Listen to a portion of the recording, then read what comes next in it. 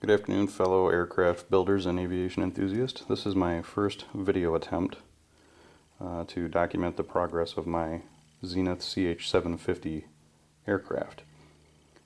I am building it from plans, which means I'm not buying uh, prefabricated parts from the factory with the exception of some welded parts because I'm not a welder.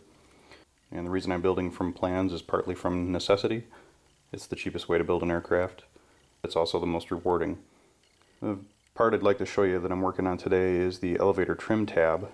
Now this is the part that goes on the very back of the elevator and is electrically, or it's uh, actuated by an electric motor and helps keep the aircraft level in flight so you don't constantly have to manually adjust your altitude. Now if you look at the plans here, this is the drawing for the elevator trim tab. And this is what I would consider a complex bend um, or a part with complex bends. The plans call for this to be um, just under 4 feet long and you can see the dimensions with the bend angles here and there's an 18 millimeter overlap in the upper right hand corner. Now because I'm using a homemade bending brake uh, every bending brake has its own characteristics. You can see here I've got an 8 foot piece of angle iron. Um, it's actually three pieces with a piano hinge down the center of the two of the bending nose and the uh, bending arm. And profile shot here, I've got a piece of oak trim, solid oak board that I've radiused here for 1 8 inch radius, which is what the plans call for, at a 45 degree angle setback so that I can overbend it if I need to. So if you simply look at the dimensions on the blueprints, it gives you this side needs to be 30 millimeters, this side is 90 millimeters, this side is 105 with an 18 millimeter overlap. If you simply add all those dimensions together to cut out your flat part, you're going to end up with too much material at either end, depending on which end you start with from bending. So you have to do what's called a developed length calculation to determine where your bend lines need to be, how far you need to set back the bending radius in order to establish a proper dimension on each part as you bend metal around a radius, you end up with extra metal on one side or the other because the curvature of the metal around the radius, of course, is a shorter distance than a simple 90 degree uh, rigid bend. So on this particular part, I made three examples before I got it right, and I started with a 20 millimeter wide piece of aluminum strip. Of course, the finished part will be just under four feet long, but uh, I started with three of these. And if you look at the drawings I'll try to orient them exactly the way the drawing is. All these parts look almost identical but they have very slight variations in their bend radii to determine exactly the right part. If you see this one here the top flap is too overlapped this one is actually the correct part, although I was hand forming a little bit of it at the last uh, to get it to uh, lay properly, but this is actually the correctly formed part with the proper dimensions the, as a finished product. And this was the first one I did that was actually just too, too small. So by a little experimentation with smaller pieces of aluminum, I came up with this dimension here, the developed length of the part uh, in flat sheet form is 242 millimeters by the required length of 1126 millimeters. My bend lines are at 17, 30, 90, and 104. And that corresponds to the bend lines up here. This needs to be an 18 millimeter flange, a 30 millimeter side, a 90 millimeter side, and a 105 millimeter side. So the 17 down here corresponds to the 18. When I bend that 17 to the proper dimension, it actually ends up being an 18 millimeter flange bend again at 30 and 90 that gives me the actual 30 and 90 dimensions. And then at 104 because there's so much extra material uh, that it gives you going around this radius by making it one millimeter short it actually ends up being 105 millimeters. So if we look over here I have the the part flat and I apologize for the lighting. This is my homemade shop in my garage. So here's my material and it is 1126 millimeters uh, long all the way down to the uh, waist bin. I've marked my lines here at 17 millimeters, 30 millimeters between those two, 90 between these two, and 104 uh, on this side. If I've done it correctly, it'll turn out quite uh, straight and in accordance with the plans.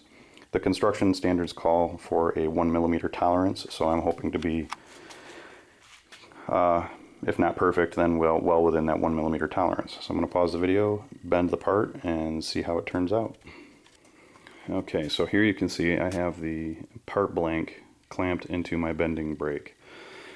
Now with a little experimentation, I determined that in order to get the proper uh, bend line, and it'd be hard to see here, but um, when my part is clamped in the brake, you can just barely see the bend line under the nose. Because of the radius, you can see it here, but as you go up over top of it, it's barely visible in this video. But as you move down the length of the part, you can see that bend line is just barely visible on the front of it, and there is some variation in the bending nose on the board. Uh, but for the most part, it'll turn out pretty good. So I have to bend this as far as I can, take it out of the brake, and bend it a little bit farther using a long board by hand to make sure that I get the 48 degree bend in it that the plans call for. I'll go ahead and pause again and be back when that's done. Okay, so as I suspected, uh, with the longer piece of material, I wasn't going to be able to uh, bend it exactly to the 48 degree bend that I need on my protractor here. So I ended up using the hand seamer, uh, which actually in my case is just a piece of wood with a groove cut in it, right here. And I overbent, just working my way down the material until I had as close as I can get to the 48 degrees, which is a perfectly acceptable method to get your bend angle. Uh, warped the piece a little bit, which is normal. Every time you bend metal, it wants to stretch and move. So that's pretty good. I'm gonna I'm gonna end up as you go down the uh, edge of the material, it tightens up and becomes a good angle. But uh, I'm gonna straighten that out by hand just a little bit more. Um, and uh, it turned out okay. You can see it's not very wavy, but I'm to straighten those uh, little wavy lines out. You can see there a little better. There's some waviness. I'm going to straighten those out just a little bit better, and then I'm going to put it in the brake and bend it the rest of the way. Okay, so I've made the first two bends, and you can see the uh, angled here on the aluminum. And something I'd like to point out on a homemade brake like this, especially when you have a part that's so wide it has to go past the, sticks out the back of your of your bending brake is you lose the ability to clamp in the very center. So you can see here I've got a clamping bolt here uh, that goes all the way through the table and clamps the, the nose down to the, or the shoe rather, down to the, the bed. Uh, but here I've had to remove that bolt because this part is longer and wider than I can accommodate with the bolt in there. And so I'm only clamping it end to end what makes what happens, and you might be able to see it in the video here, is that the center of this will have a tendency to have a slight bow to it because you're not clamping as hard and the material will uh, bow a little bit in the middle. This is less pronounced if you're only bending say a 20 millimeter flange all the way down and you have all of your bolts in place. But on these longer parts with the uh, width that goes all the way through, uh, this is 25,000 6061 T6 aluminum, and that's actually uh, a very rigid aluminum. It's soft to drill through and to uh, work with as far as cutting, but it's a quite a rigid uh, material to bend in a homemade uh, particularly one with it's nothing more than like a piano hinge here and things like that. So you can see now, you can see more of the wavy lines from the from the reflection here. Um, from the hand bending that I had to do and what that does is uh, it actually stretches the metal a little bit along this outside edge and that's what causes this to push outward towards me uh, in the bending brake when it's not clamped in the center. It still does it when the clamp is in place but it's far less pronounced so I'm going to do the final bend on this uh, as, as far as I can I'm going to pull it out of the brake and then hand bend it with uh, just a piece of wood and press it against the table to finish off the uh, amount that needs to bend. And hopefully we'll have a uh, relatively perfect part. And we'll see in a few minutes. Okay, well I bent it as far as I could in the brake, And, this, and then I used a, uh, I just laid it against the table and put a 2x4 along this edge here and bent it as hard as I can. Now the problem is, is because that is such a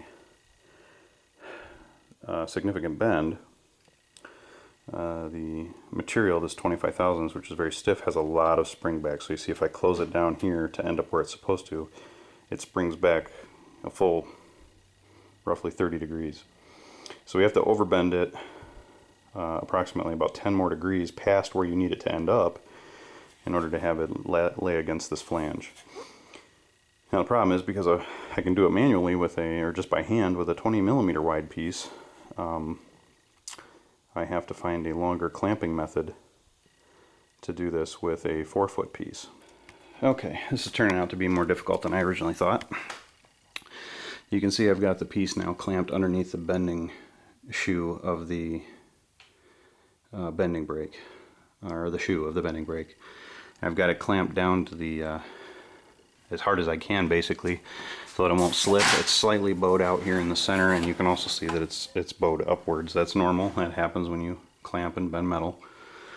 Um, what I'm basically doing is tightening my clamping bolts down as hard as I can so that when you get underneath that edge basically what I want is the angle of the material Okay, so you look down there. I want this angle here between the bottom of the shoe uh, and the top of the, the bed mount here to essentially be 10 degrees less than I need for this to, to bend so that I overbend it and it springs back into position. It's going to be difficult because I actually have it clamped almost all the way down to where it's supposed to be, but then I continue I have to continue to bend it farther to get that proper angle when it springs back. Okay, I've got it clamped down as uh, much as I can. We're getting down to the limit uh, due to the offset angle here. I'm starting to actually splinter and crack the wood. These bolts are normally uh, perpendicular to the, this surface here.